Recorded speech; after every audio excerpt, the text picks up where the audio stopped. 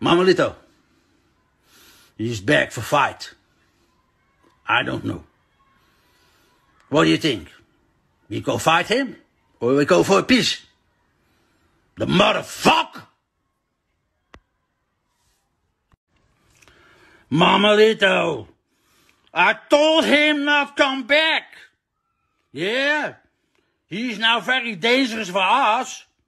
The bullshit I have, I want him dead now. The motherfucker. Yeah? And you know what we do with, with him.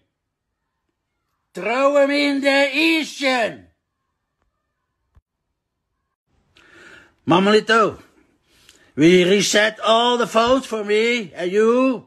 Want when the cops see that, that's not good for us, eh? We are in big trouble.